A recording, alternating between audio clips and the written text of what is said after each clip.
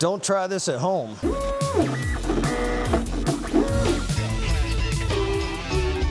So in a recent vlog, I was talking about how all these storage cabinets in my office are really, really full, and I wanted to repurpose one of the closets in my house for some additional storage. You might remember this is the closet that had my Bambu P1P in it for a while until I moved it to be with all my other printers, but it's just been sitting unused this whole time, so I went to put in some additional shelves. But I found out I really didn't have many of these, and when I see plastic parts, my brain's been trained to think, oh, can I 3D print that before I go out and buy it? These are side brackets that wire shelves sit in. You put them on the wall and they sit in here and it holds holds the shelf up. You don't really need the support things in small spaces like that. And these sell in a two pack at Lowe's for about $5.50. So just for ease of math, I'm gonna consider each one of these to be $2.50. Yes, you get screws and some little wall anchors with it, uh, but a two pack is $5.50. So I printed up my own version here, these in PLA, PETG, and also an exhibition one in this uh, nylon carbon fiber. We're gonna be doing this one on the FLSun. These we know are cheaper. These take 26 grams of filament to print, and with the cost of $12 and some change on the spools of the Elegoo Rapid PLA Plus, because I buy it in a 10 pack, it comes out to about $12 per spool.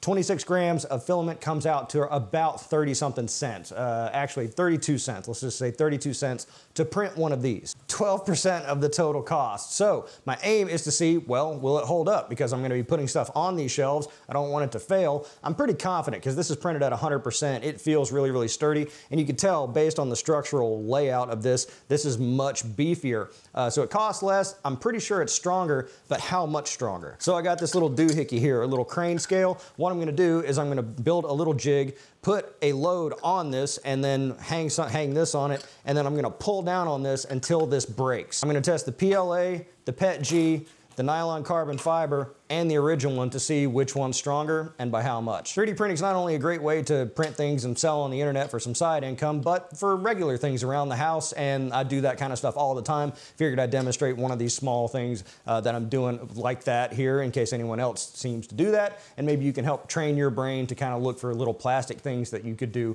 in print for around the house to kind of save yourself some money and just have a good time doing it. All right, so here's my completely non-scientific testing method. I've got all of the samples lined up here. We've got our store-bought one here, our Rapid PLA Plus. All of them are at 100%, all at a 0.2 millimeter layer height. Rapid PLA Plus, Rapid PETG, and this nylon carbon fiber. The nylon carbon fiber is not annealed and I didn't dry it at 100 C for like 12 hours or whatever it wanted. Uh, I did dry it somewhat. If you've been watching the channel, you know I've been working with this somewhat here and there. Uh, but I do expect this one to perform better because it's supposed to be really, really strong and, you know, capable of handling loads. Uh, but I think all of these are going to perform well, really just given how thick they are.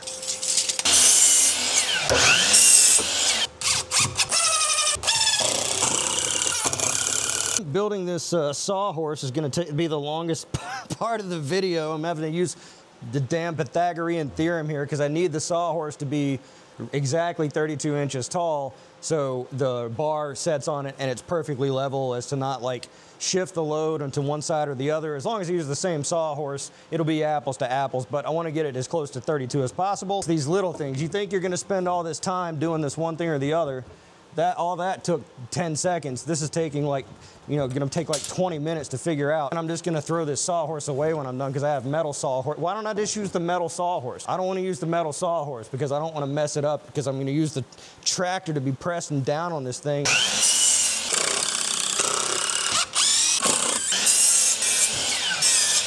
Ooh, pressure treated. Let's see pretty not close. Well, you know what they say.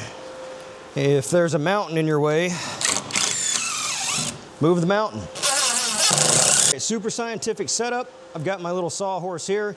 I've got my samples here, and I've got this piece of rebar on which the load will be placed. And take my little crane scale, place it on here, and then exert a pulling downward force to simulate a shelf pulling down on the bracket until it fails, and then we'll record this and this doesn't have the stop feature to where it freezes at the highest measurement. So we'll just hopefully get it on camera.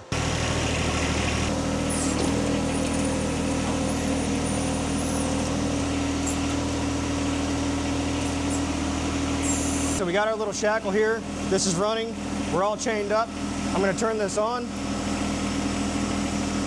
And then we're gonna record it and then isolate it and then find out how far it went before it failed.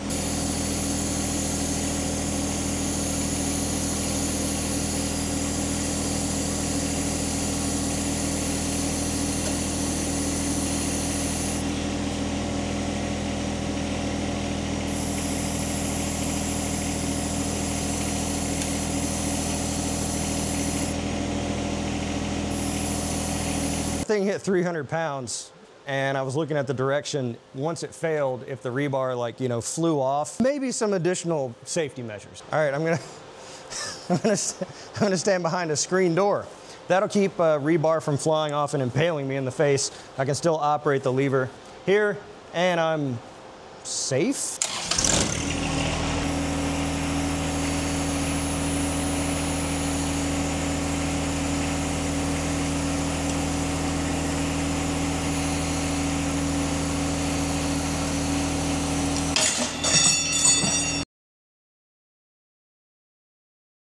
All right, so we'll get, we'll come back to what weight it failed, but uh, it failed here at the uh, contact points at the screws. You saw there's a pretty significant bend. It was several hundred pounds, so actually quite impressive.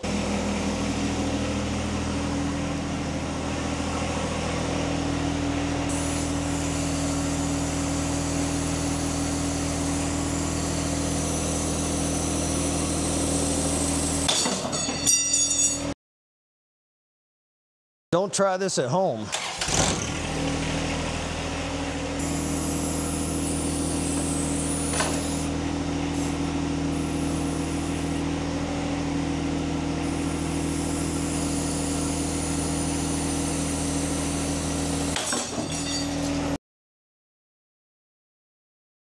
All right, all of them breaking at a similar spot, right where the contacts are. I'm surprised. I thought they would break at the screws, but not the case. So this is our last one, the PA612CF. It's nylon CF. It's meant for heavy loads.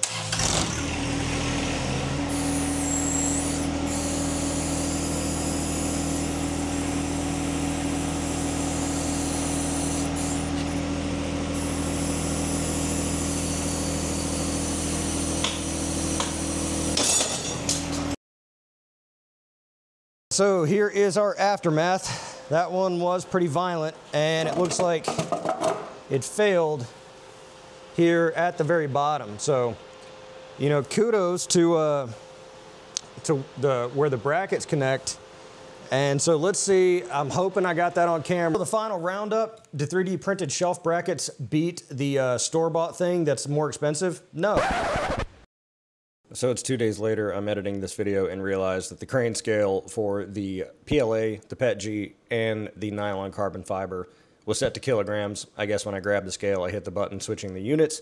Uh, so recomparing everything, yeah, 3D printed parts are more stronger. So everything here at the end and my post, my wrap up section is uh, kind of wrong, and I was right from the beginning. Of course I was right. Should have never doubted myself. Uh, the 3D parts are certainly much stronger. Not by a long shot, and I got to tell you, I was really surprised at this result. I thought for sure, just looking at how thick this is, 100% infill, you know, it made thicker, it seems to me that it would have uh, it would have outperformed it, but that's simply not the case. It's almost as if when they engineer those things, they uh, they engineer them to perform well, and versus some uh, ad hoc, you know, slap together thing that I designed. Uh, but we found that all of these performed in that almost 200 pounds per bracket sort of area. And so if you've got four of these, uh, I doubt that two, four, six, eight, you're gonna be putting 800 pounds on a little wire shelf in the closet. Uh, the biggest load that it's ever gonna carry is probably some clothes or some you know storage things, uh, maybe, maybe a 100 pounds max. Um, I doubt anyone's gonna be putting much more than that. And if so, it's probably gonna hold it up.